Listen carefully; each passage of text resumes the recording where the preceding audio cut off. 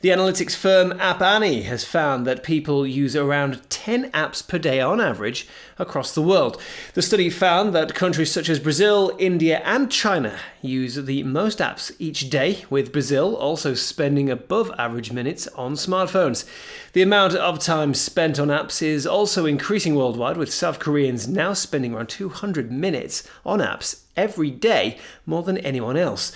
It was pointed out by App Annie that the research shows that user behavior varies so much between nations that there can be no one size fits all app strategy.